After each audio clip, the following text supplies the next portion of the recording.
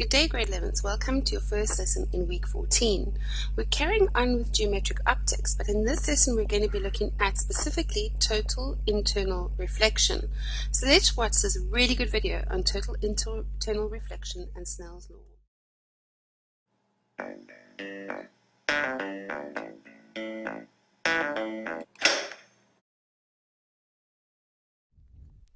Okay, here we go.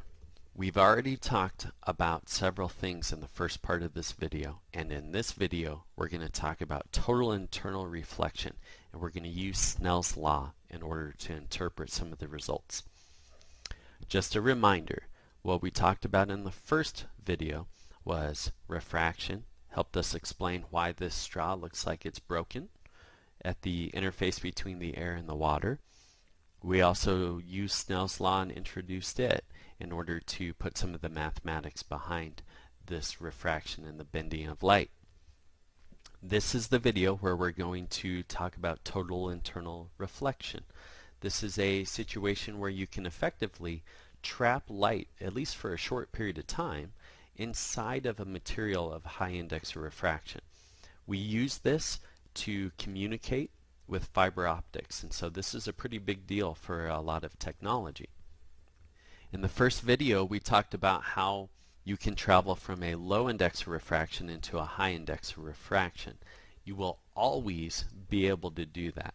Light always has a chance, a probability of penetrating into the high index of refraction material and then refracting, bending at that interface.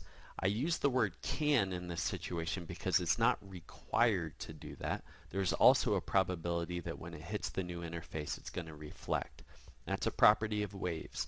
Anytime you hit a new medium, some of the energy will be reflected and some of the energy will be uh, transmitted. And so the reflection part means it goes off angle in equals angle out measured against the normal, but the refraction part is the transmission of energy in this case.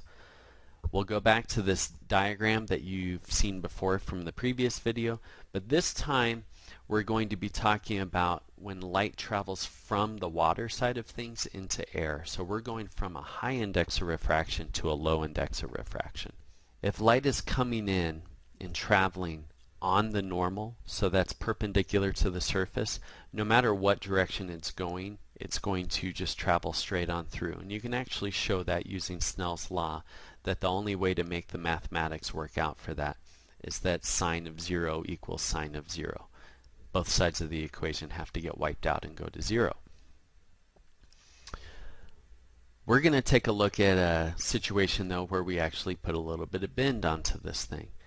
Just like you're accustomed to, you know that we should get some bending of light. Here I am just starting to slightly increase the angle that I'm taking, my incident angle, that's the water side of things for this particular video. You'll notice that as I increase the angle a little bit on the side of water, the angle increases by more on the air side of things. Remember that you can always match the high index of refraction with the low angle and the low index of refraction with the high angle. So as I keep pressing my luck here, I'm able to move this angle out more and more and you can see that I'm starting to run out of room to increase my angle on the air side of things. And then this is the one where I'm showing the most extreme. I technically have a lot more room that I could shoot a photon at the water-air interface here on the bottom left of this picture. However, I've run out of room on the top right where I'm able to actually bend my light out and refract it into the air. Something else happens once you go beyond this situation. That is, and we've alluded to it already, total internal reflection. In this situation, light is going to reflect back into the water.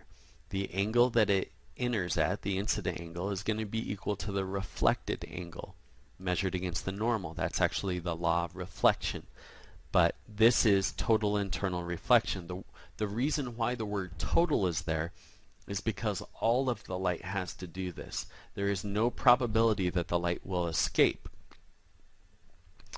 And then from here, as I start to increase the angle of incidence, I'm taking wider and wider angles, you can see that the law of reflection just holds and it continues to reflect out. We'll put up Snell's law again and we'll see if we can get any information out of Snell's law in this particular situation. Snell's law really is dealing with the refraction part of things and so we have to take it back a little bit and let's go to the last possible chance we had to actually refract light and get it up into the air. This is an extreme case where on the upper right we now have a right angle, a 90 degree angle, and so I can go ahead and put sine of 90 degrees into that.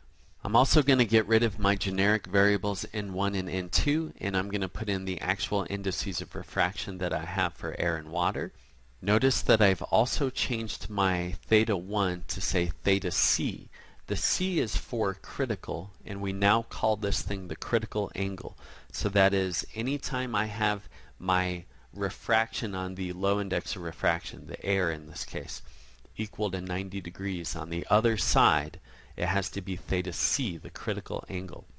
The critical angle is the largest angle of incidence that you can have before this thing has to start exhibiting total internal reflection.